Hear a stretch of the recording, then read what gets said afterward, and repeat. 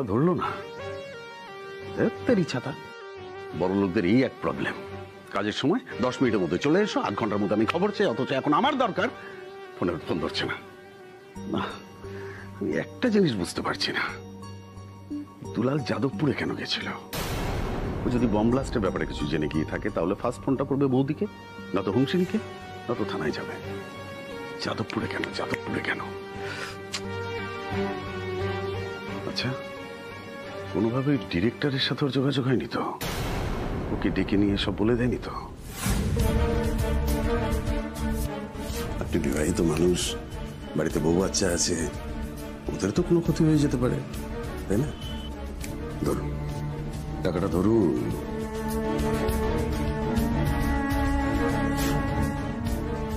না না এত সাহস হবে না। যেভাবে থ্রেট করেছি নিশ্চয়ই ভয় পেয়েছে। নাহলে সুরসুর করে কাজটা করে দিত না। তাহলে যাদবপুর কেন? যাদবপুর কেন? কোয়েশনটা আমি কিছুতেই মেলাতে পারছি না। আচ্ছা ওই মেয়েটার সাথে কোনোভাবে যোগাযোগ হয়নি তো? হ্যাঁ? মেয়েটার বাড়ি এই যাদবপুরের এদিকে কোথাও? হ্যাঁ? তাহলে সর্বনাশ হয়ে যাবে তো। এই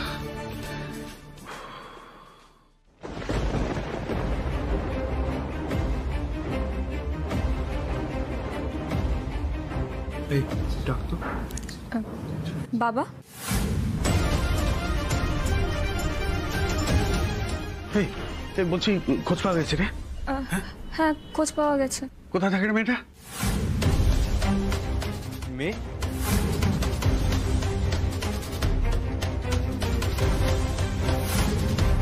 দেবা ছোড়দা তোরা দুলালকে নিয়ে বাড়ি যা। কিন্তু মা আমি আপনি বাড়ি যাবেন। আপনার এখন বাড়িতে গিয়ে একটা মাথায় ঠিকঠাক ড্রেসিং করা দরকার। বাড়ি যান আমি বলছি তো।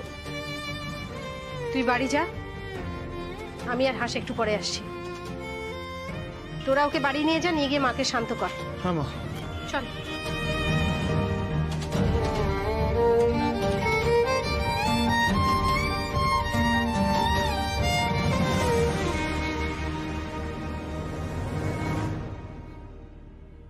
চিন্তা করবেন না হিরো। আমি আছি। অফিসারকে এখান থেকে চলে যেতে বল আর প্লিজ সিন ক্রিয়েট করিস না। দাদা ভাই ন্যাড়া শুনেছি একবারই বেলতলায় যায়। যদিও আমি অনেকবার গিয়েছি বাট আর রিক্সটা নিতে পারব না রে। আর না দুলারবাবুর এগেনস্টে এই অ্যালিগেশনটা আনার আগে যখন কেউ ভাবেনি তখন আমিও আর এটা ভাববো না। চিনি প্লিজ আমার কথাটা একবার শোন। একবার তো ঠান্ডা মাথায় কথা বলেও সবটা সলভ করা যায় নাকি প্লিজ বৌমনি তোমার হয়তো এই রায়চৌধুরী বাড়ির যোগ্য বউ হওয়ার অনেক ইচ্ছা আছে বাট আমার নেই গো। আমার এই বাড়ির যোগ্য মেয়ে হওয়ার এক বিন্দু ইচ্ছে নেই। এরাও যে আমার আপনজন, কি করে ভুলে যাও বলো তো তোমরা? আর কোনো আলোচনা হবে না, আর কোনো কথা হবে না, ব্যাস। সোমশঙ্কর রায়চৌধুরীকে যতক্ষণ না অব্দি অ্যারেস্ট করা হবে, আমি শান্তি পাবো না।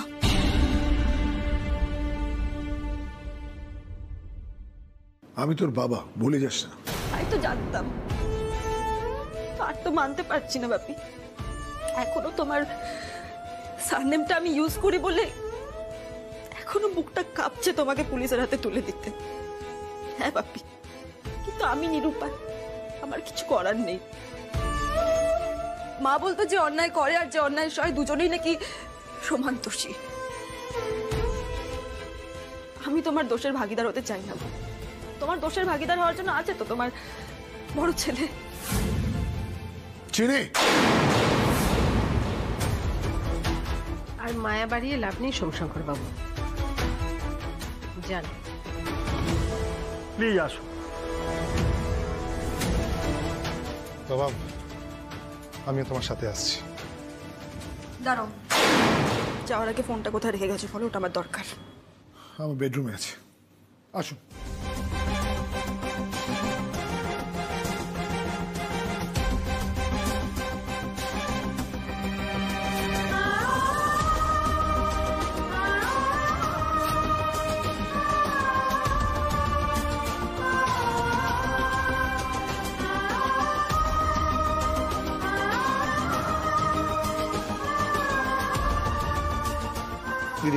তুই আয়। তুই আয় বস। চিনি এরম করিস না চিনি। দিদি ভাই তুই কেন কষ্ট পাচ্ছিস বলতো? তুই তো কোনো ভুল কাজ করিস তুই যা করেছিস একদম ঠিক করেছিস তুই কষ্ট পাবি আমি আমি জাস্ট ভাবতে পারছি না বাবা এরকম একটা কাজ কি করে করলেন? এতদিন ভাবতাম যে বাবা চিনিকে ভালোবাসেন যে এতটা প্রোটেক্টিভ ওর প্রতি এতটা পজেসিভ সেই জায়গা থেকে যা করার করতেন। ওর ভালো চেয়ে। কিন্তু এগুলো কি দীপ্ত? এই ভিডিও টিডিও আর অভ্র জানতো এটা। দিদি ভাই আমি তোকে বলছি। আমি যদি তোর মতো হতে পারতাম না আমার খুব ভালো লাগতো আমি প্রাউড কি তোমাকে দেখেছি লক্ষ্মীদি তুমিও আমার শক্তি।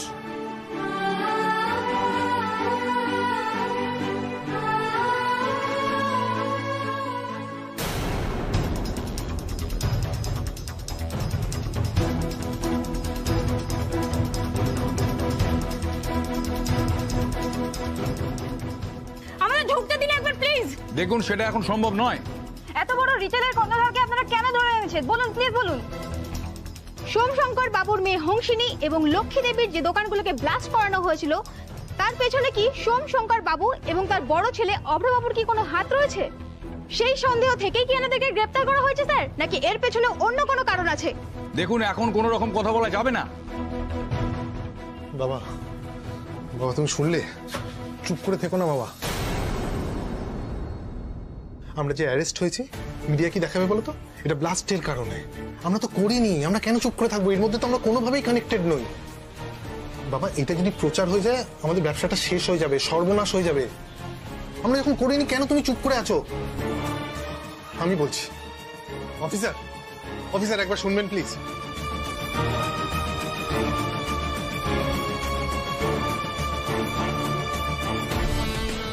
বলুন। আমি মিডিয়ার সাথে কথা বলতে চাই। না সেটা কিছুতেই সম্ভব নয়। হরিপদ ওনারা একটু বাইরে অপেক্ষা করতে বলে যাও। ইয়েস স্যার স্যার ওনারা তো কথা বলতে চাইছেন। আপনারা কেন কথা বলতে দিচ্ছেন না? শুনুন শুনুন আপনারা দাঁড়ান আমার কথাটা শুনুন কথাটা শুনুন। দেখুন ওনারা এখন পুলিশ কাস্টাডিতে রয়েছেন আর পুলিশ কাস্টাডিতে থাকাকালীন কোনো সাসপেক্টকে আমরা মিডিয়ার সাথে কথা বলতে দিতে রাজি নই। দেখুন ওনাদেরকে কালকে কোর্টে প্রডিউস করা হবে আর কোর্ট যা রায় দেবে সেটাই হবে। আপনারা রিপোর্টটা তখনই করবেন।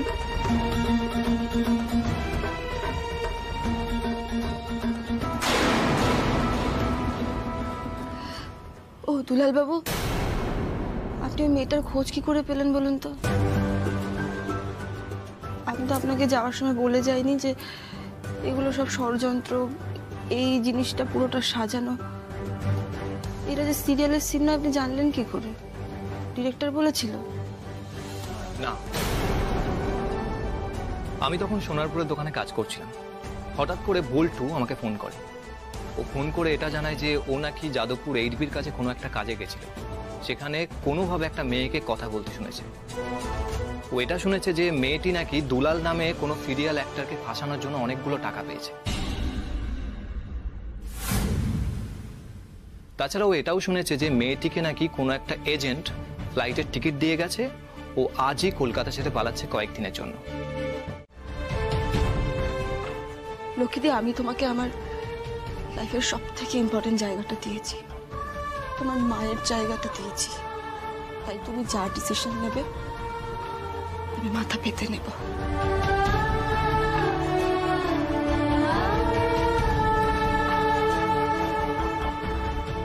আমি রাজি বিয়েতে।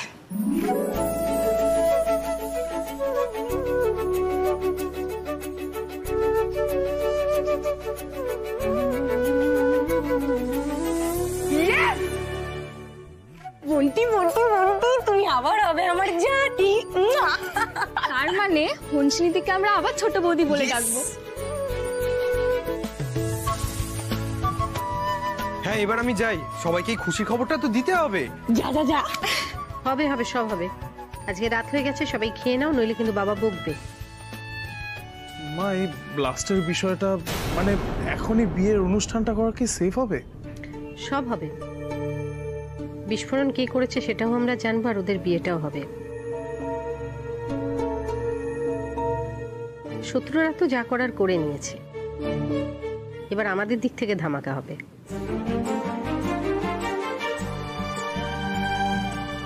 কি লক্ষ্মী বাহিনী তাহলে রেডি তো?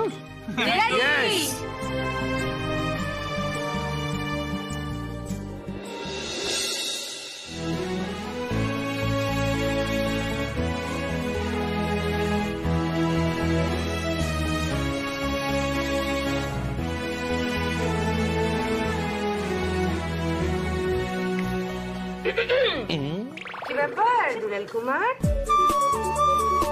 বলটির দিক থেকে তো দেখছি তোমার চোখটা সরছেই না দুলাল কুমার। ভাই এত চিন্তা করিস না। যা না কালকে অফিসে যা গিয়ে একটু বিজনেসটা সামলা। আমি আছি তোর যদি কোনো প্রবলেম হয় আমাকে ফোন করবি আমি তোকে হেল্প করে দেবো ঠিক আছে? দীপ্তদা এই তো হোমসিনিধি সলিউশন দিয়ে দিয়েছে এবার খেতে বসে যাও। না আজ থাক আমি অন্য একদিন আসব। আজ আসছি হ্যাঁ? দীপ্ত সবাই যখন বলছে আপনি খেয়ে যেতে পারতেন বাড়ির অতিথি না খেয়ে গেলে কিন্তু মাও রাগ করবে। লক্ষ্মীদিকে বলো আমি অন্য একদিন এসে খেয়ে যাব। আর খাবার ব্যাপারে যে আমি নির্লজ্জ সেটা তো তোমরা আগের দিনই জানতে পেরেছ। আজকে আসি।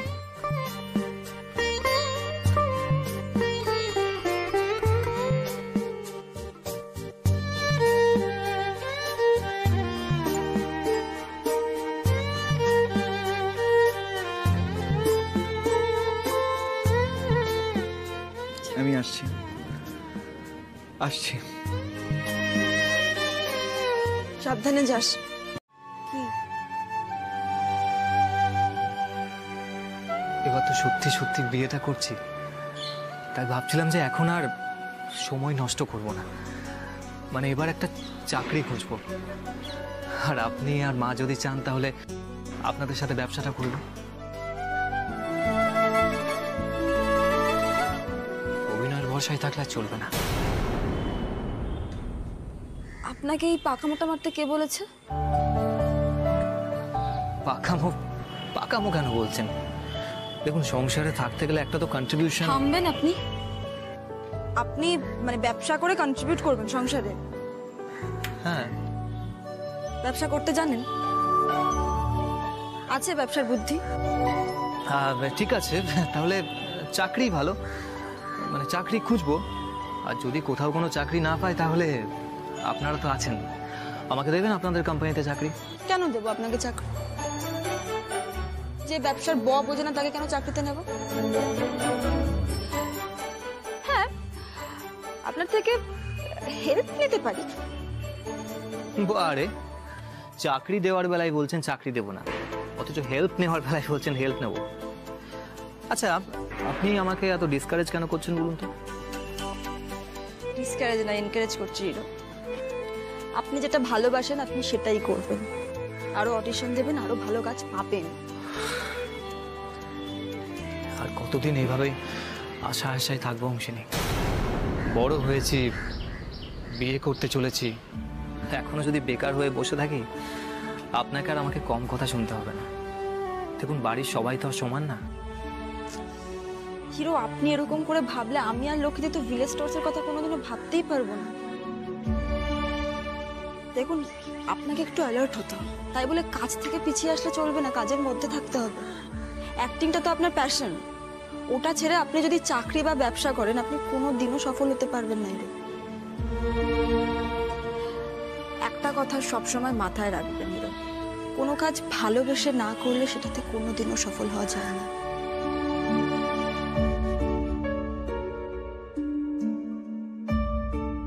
হিরো, বারবার খারাপ জিনিস ঘটে না। এত ভেঙে পড়লে হবে না হিরো। সামনে অনেক বড় লড়াই। প্রকৃতির যেমন আপনাকে দরকার,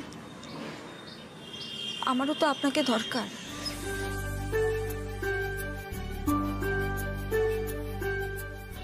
আপনার মতো কাছের বন্ধু আর আমার কে আছে বলুন তো, যাকে আমি নির্দ্বিধায় সব কিছু বলতে পারি?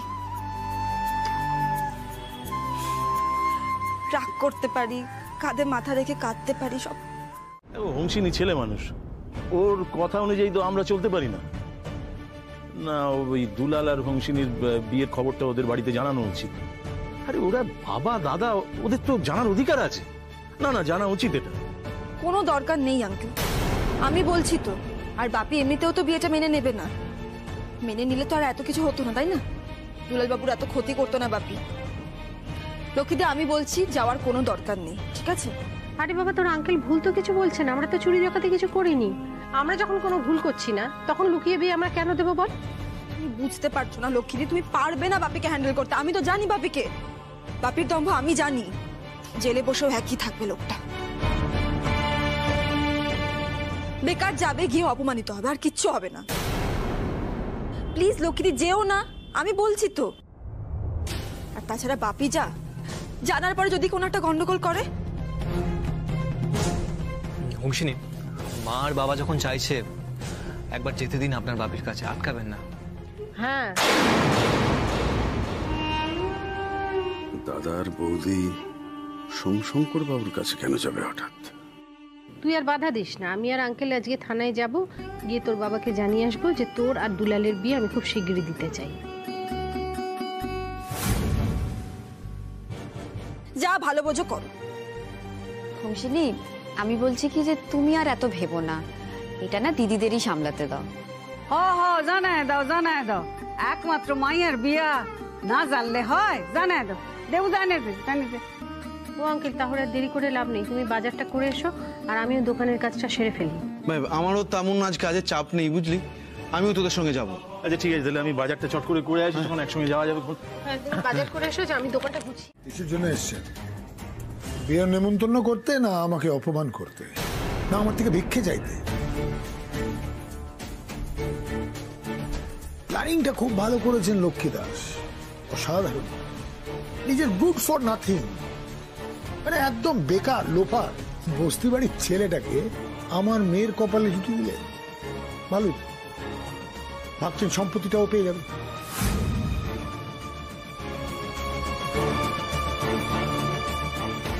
বিয়ের কথা বৌদিরা তোলার আগেই বাবু বলে দিলেন, এবার তো বৌদি সন্দেহ করবে। আসলে প্ল্যানিং হলো আপনার যে, ওই যে সাত সাতখানা দোকান আপনার পুড়ে গেছে। এবার ছেলে যদি আমার মেয়ের কপালে জোটে, তাহলে এই টাকাটা ওখান থেকে আপনার উদ্ধার হয়ে যাবে, তাই না? ক্লিয়ার কাট মাথায় রাখবেন। আমি কিন্তু কোনোভাবেই আমার মেয়েকে, আমার সম্পত্তি এক টুকরো দেব না। কোনোভাবেই না, কিচ্ছু পাবেন না। না আপনার ছেলে, না আপনারা। ভিক্ষে করতে এসছেন তো? কোনো ভিক্ষেই পাবেন না। আপনার টাকার উপর আমাদের কোনো লোভ নেই, দাদা। তা আমরা কেন? আপনার মেয়েই তো আপনার টাকা নিতে চায় না। আপনাকে আগেও বলেছি, আবার বলছি। আমাদের টাকা পয়সা নেই বটে, কিন্তু আমাদের আত্মসম্মানের ভান্ডারটা না উপর চুপুর করে ভরা। আর আপনি মেয়েকে সম্পত্তি থেকে কি বঞ্চিত করবেন? ও তো আপনাকে মন থেকে বঞ্চিত করেছে। তারপরে এত কিসের দম্ভ আপনার?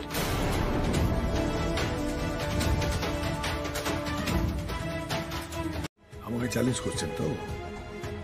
আমাকে চ্যালেঞ্জ করার ফল কোনোদিন ভালো হবে না।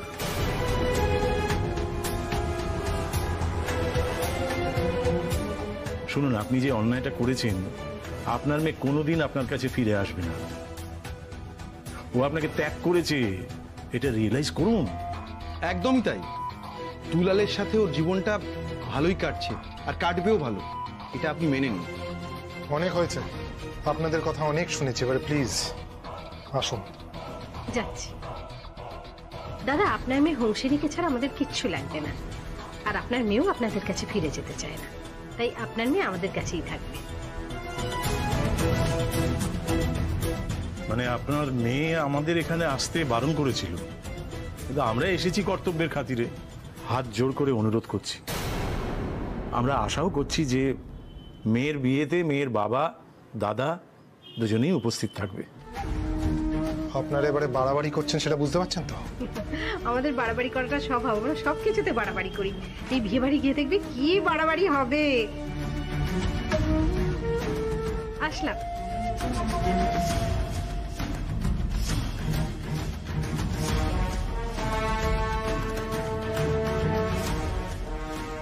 ইন্সপেক্টর দোকানের বোম ব্লাস্টের কেসটার ইনভেস্টিগেশন কতদূর এগুলো আমাদের একটু বলবেন? তদন্ত চলছে আমরা দেখছি। দেখুন যারা আমার দোকানে কাজ করছিল তারা না খুব বিশ্বস্ত তারা তো এই কাজ করবে না। এবার কারা কারা এই দোকানে বোমগুলো রাখল কীভাবে রাখল কিছুই তো জানতে পারলাম না। মানে আপনারা তদন্ত করে এখনও কিছু করতে পারেননি? দেখুন সমস্যাটা কোথায় জানেন তো? আসলে সেই সময় ওখানকার সমস্ত সিসিটিভি কাজ করা বন্ধ করে দিয়েছিল।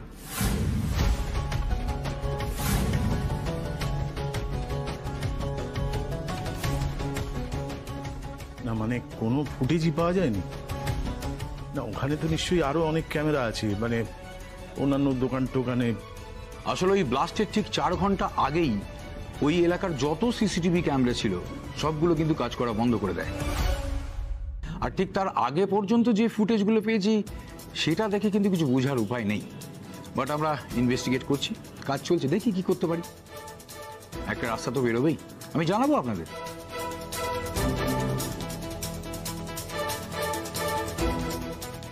আসছি স্যার। হ্যাঁ নমস্কার। নমস্কার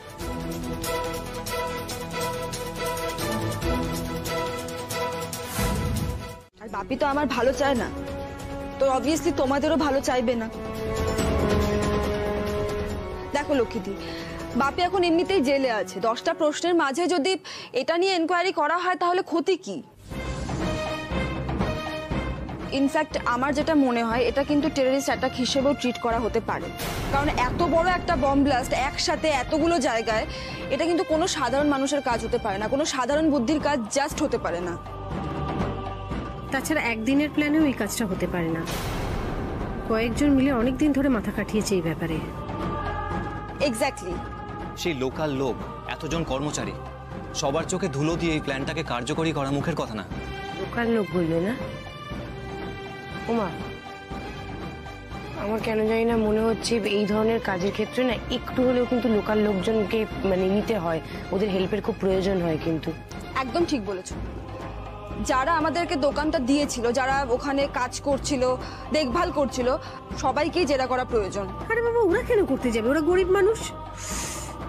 লক্ষ্মীদি তুমি সবাইকে কেন নিজের মতো ভাবো বলো তো? টাকার জন্য মানুষ কি কি করতে পারে তোমার কোনো আইডিয়া আছে? আর আইডিয়া থাকলেও তুমি মানতে চাইবে না। এসব ক্ষেত্রে জানো, তুমি বাড়ির লোক পর্যন্ত অনেক সময় জড়িত থাকে। এরকম কত কেস আছে? আমার কথা বিশ্বাস নয়, পুলিশকে গিয়ে জিজ্ঞেস করো। সোজা কথা, ব্যক্তিগত শত্রু পরিচিতই হয়। পরিচিত লোক ছাড়া এত বড় ক্ষতি আমাদের কে করবে? আর লাভটাই বা কি করে? যাই হোক, আমি পার্সোনালি গিয়ে হায়ার অথরিটির সাথে কথা বলব, যাতে এই কেসটাকে প্রায়োরিটিতে দেখা হয়। আর এমনি তো নিউজে এটাকে যতবার করে দেখানো হয়েছে, আমার মনে হয় পুলিশের ওপর এমনি প্রেশার থাকবেই।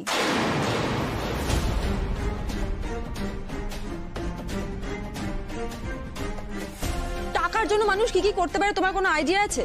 আর আইডিয়া থাকলেও তুমি মানতে চাইবে না। এসব ক্ষেত্রে জানো, তুমি বাড়ির লোক পর্যন্ত অনেক সময় জড়িত থাকে। এরকম কত কেস আছে? আমার কথা বিশ্বাস নয়, পুলিশকে গিয়ে জিজ্ঞেস করো। সোজা কথা, ব্যক্তিগত শত্রু পরিচিতই। পরিচিত লোক ছাড়া এত বড় ক্ষতি আমাদের কে করবে?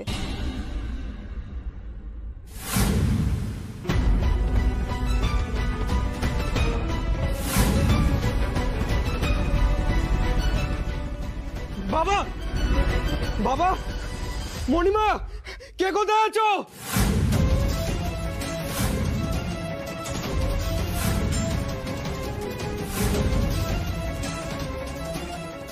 কি হয়েছে রে? মেচকা। সর্বনাশ করেছে। জিজ্ঞাসা করলাম যে কি হয়েছে? সেটার জন্য এমন রেগে মারতে এলো? আমি আর বোন ঘরে চলে এসেছিলাম। আমরা আর কিচ্ছু জিজ্ঞাসা করিনি। কিন্তু বাবা সেদিনকে বড্ড বেশি অদ্ভুত ব্যবহার করছিল। সেদিনকে প্রচণ্ড টেনশন করছিল। আর সেটা শুধু আমি খেয়াল করেছি।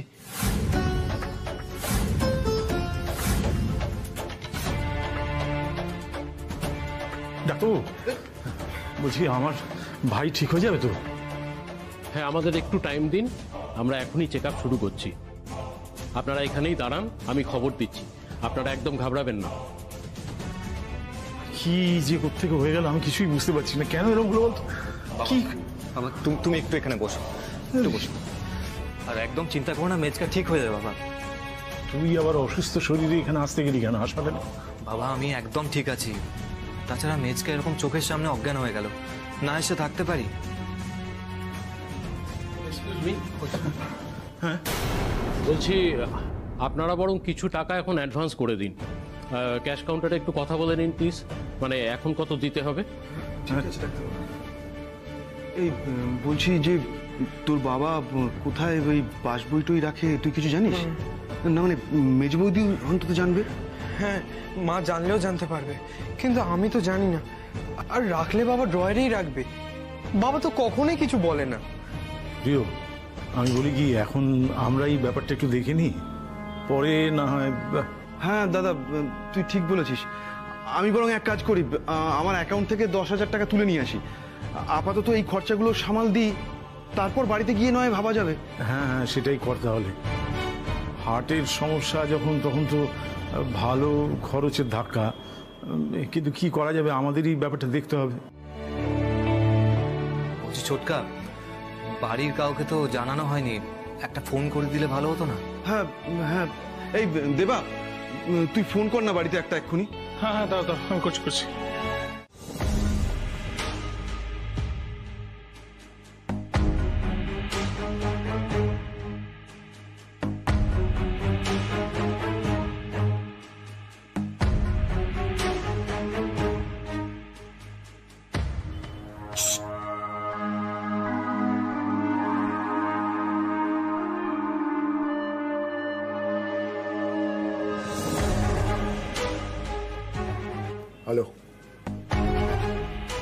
কি?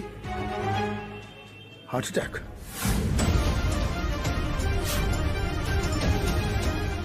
আবার চিন্তা হচ্ছে। নার্ভাস হয়ে গিয়ে সব কথা বলে ফেলবে না তো? ঠিক আছে। ওই দিকটা দেখো। আর আমাকে খবর দিতে থাকবে। হ্যাঁ এই ফোন নাম্বারেই হ্যাঁ।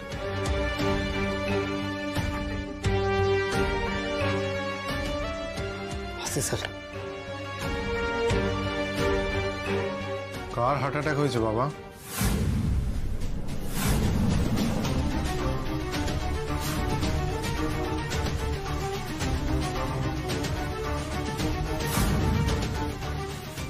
ঘুমের মধ্যে আমারই কথা শুনছিলে?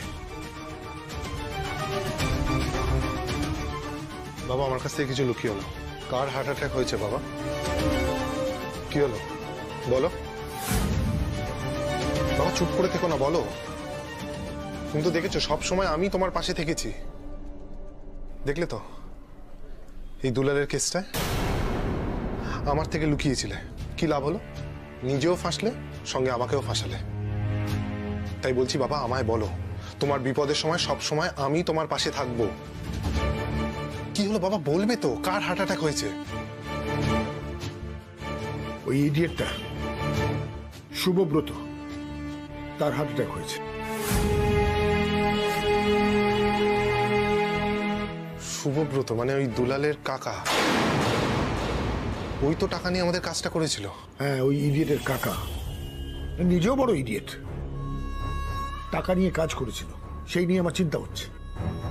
মানুষের শরীর যখন খারাপ হয় না তখন সে সে মানসিকভাবে দুর্বল হয়ে পড়ে।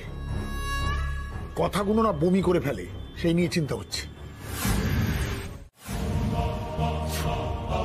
দেবা কি বলছে? দাঁড়ো দাঁড়ো আচ্ছা। মেচকা আগে সুস্থ হয়ে বাড়িতে ফিরুক তারপর নয় টাকা পয়সার ব্যাপারটা দেখা যাবে। তুমি একটা কাজ করো তুমি একটু মা আর মেজো কাকিকে জানিয়ে দিও ব্যাপারটা। হ্যাঁ হ্যাঁ আমি সব বলে দেবো তোমরা সাবধানে এসো ঠিক আছে? আর হ্যাঁ তোমরা তো কিছু খাওনি লালটুকেও কিছু খাইয়ে দিও তোমরাও কিছু খেয়ে নিও ঠিক আছে? আচ্ছা আচ্ছা ঠিক আছে আমি এখন রাখছি কোনো প্রয়োজন হলে আমি ফোন করে নেব। হ্যাঁ হ্যাঁ টাটা টাটা টাটা। কি হয়েছে কি দেবা কি বলছে? কি কি হয়েছে? মেজর মেজর ঠাকুরপো কেমন আছে? স্টেবল আছে কিন্তু ভালভে সেভেন্টি পার্সেন্ট ব্লক পাওয়া গেছে। হয়তো স্টেনও বসাতে হতে পারে। হে ভগবান সে তো অনেক খরচ। হ্যাঁ আড়াই লাখ টাকা লাগবে। মেডিক্লেম থাকলে বেঁচে যাবে কিন্তু ঠাকুরপো তো গোছানো মানুষ।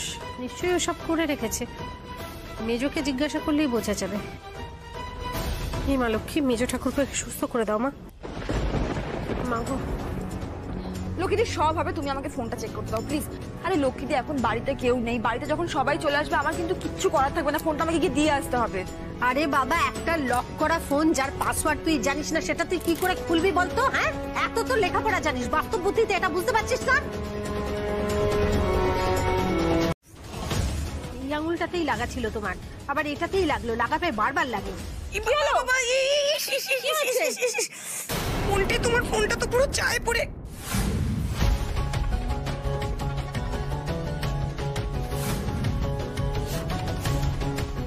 এটা তো মেচকার ফোন।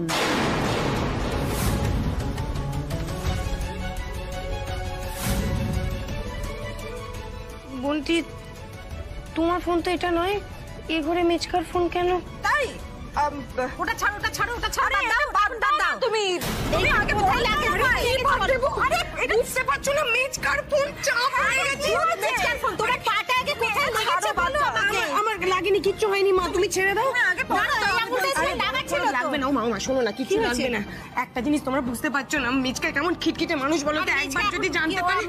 কোথায় লেগেছে? কি হচ্ছে আমার কিছু লাগেনি মা শোনো না শোনো তুমি একটু বড় আরে কিচ্ছু লাগবে না চালের ড্রামে আমি বরং ফোনটা রেখে আসি আর ফোনটা তো অনও হচ্ছে না সর্বনাশ হয়ে আরে গিয়েছে। বাবা, আগে তোমার পাটা নিয়ে ভাবো পরে ছাড়ো যাই, কিছু হয়নি এমন কিছু হয়নি। আর বাবা ওই খিটখিটে মেজাজি লোক বাড়িতে এসে আবার হাজার রকমের অশান্তি করবে। কিছু করবে না, তো চিন্তা করো আমি রেখে আসছি। কিছু আরে, বলতে হবে না আমি করে আসছি করে আসছি দাঁড়াও। দুদিন হাসপাতালে ছিল তো। বাড়ির লোকগুলোর মুখ দেখেনি। একটু বসুক গল্প গুজব করুক কিচ্ছু হবে না। তারপর নয় ঘরে যাবে। বাচ্চাদের সঙ্গে গল্প করলে কথা বললে মন ভালো থাকে রে শুভ। মনটাকে ভালো রাখ। এই মনের মধ্যে প্যাঁচ করে করে শরীরটা কি হাল করলি বল। আচ্ছা ঠিক আছে ঠিক আছে শোনা। তুমি চাটা একটু নিয়ে এসো তো। ওনার এসব কথা বলে কি লাভ বর্দা? ছেড়ে দিন না। তুমিও ভালো করে কথাগুলো শোনো। একই দলের লোক তো। মাথার মধ্যে সবসময় উল্টোপাল্টা চিন্তা করলে শরীরে তার প্রভাব পড়বেই। আচ্ছা চুপ কর না। এই তো কাঁদছিস কেন রে তোরা? দূর পাগল সবাই তো আছে। দেখবি বাবা খুব তাড়াতাড়ি ভালো হয়ে যাবে হ্যাঁ? ও টিয়া কেন কান্নাকাটি করছিস? মেচকা তো আগের থেকে অনেকটা ভালো আছে দেখছিস তো? মন খারাপ করে না বাবা? কাঁদিস না। আমি ঠিক আছি রে।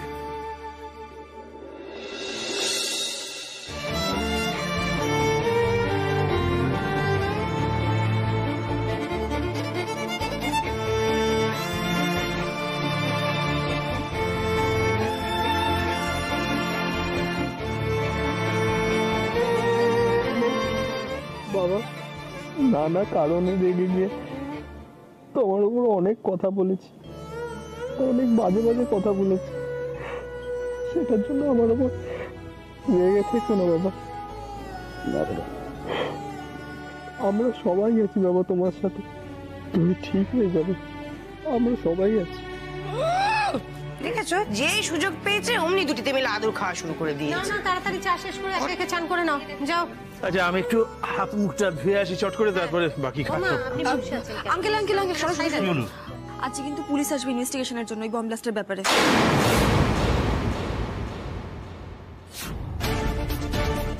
লক্ষ্মী জানেন? আরে এই লক্ষ্মী। হ্যাঁ। আরে আজকে নাকি আমাদের বাড়িতে পুলিশ আসছে ইনভেস্টিগেশন করতে? বংশিনী বলছে? হ্যাঁ আমাকে আমাকে বলেছে যে আজকে পুলিশ আসতে পারে।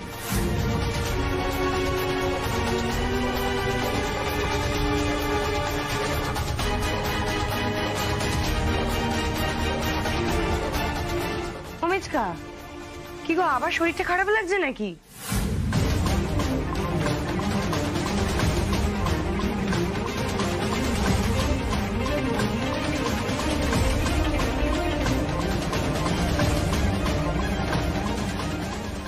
বাবা?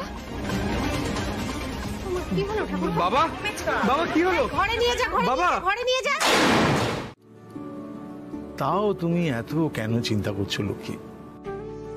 এদিকে দেখাও বলছি, আমাদের সবার লক্ষ্মী কাকিমা সুপারস্টার এইভাবে মাথা নিচু করে থাকলে হয়? এই যে গোটা দাস বাড়িটা এই তো তোমার দাপটেই চলছে লক্ষ্মী। আর তুমি এভাবে দমে গেলে আমরা কোথায় যাই বলো তো লক্ষ্মী? সংসারটা কোথায় যায়? আমি তো পারছি না। এই সংসারটাকে এক তালে, এক ছন্দে নিয়ে চলতে, সবাইকে একসাথে নিয়ে চলতে আমি তো পারছি না। আমি পারছি না সবাইকে ভালো রাখতে। দেখো লক্ষ্মী সবাইকে তো ভালো রাখা যায় না। অনেকের অনেক রকম ডিমান্ড থাকে কিন্তু এই খারাপ সময়ে তো একে অন্যের পাশে থাকাটা সবচেয়ে জরুরি। সেটা তো তোমার জন্যই হচ্ছে। তোমার এই সংসারটাকে টিকিয়ে রাখার লড়াইয়ের জন্যই তো হচ্ছে। কিন্তু আমি তো বারবার হেরে যাচ্ছি বলো। লড়াইয়ের ময়দানে হার জিত থাকে লক্ষ্মী। তা না হলে তো লড়াইটা লড়াই থাকে না। আমার খুব ক্লান্ত লাগছে। হ্যাঁ ক্লান্তি আসতেই পারে। কিন্তু থেমে গেলে তো চলবে না, লক্ষ্মী। লড়াইটা তো চালিয়ে যেতে হবে। তুমি এত সহজে থেমে যাওয়ার মেয়ে তো নও, লক্ষ্মী। এত সহজে তুমি হেরে যাবে সেটা তো আমি মেনে নিতে পারব না, লক্ষ্মী। আমি জানি তুমিও মেনে নিতে পারবে না। না না না, আর যেন চোখের জল না দেখি। তুমি হেরে গেলে, লক্ষ্মী, আমার কি হবে?